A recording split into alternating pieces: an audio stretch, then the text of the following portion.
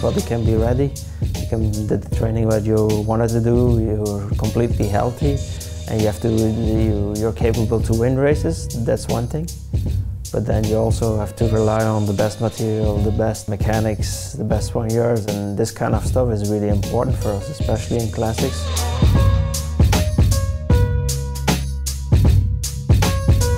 Like we say, we are demanding a lot for the material because we are hitting every every stone, every corner. It's about pressure and getting first in this corner, good positions.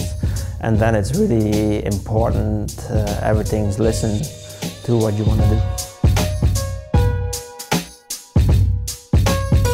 The thing is, if you never have problems, you you you don't think almost about it anymore. It's when it, the material is not good, you start focusing on it. And with the Dura Shimano, it works always and ev everywhere.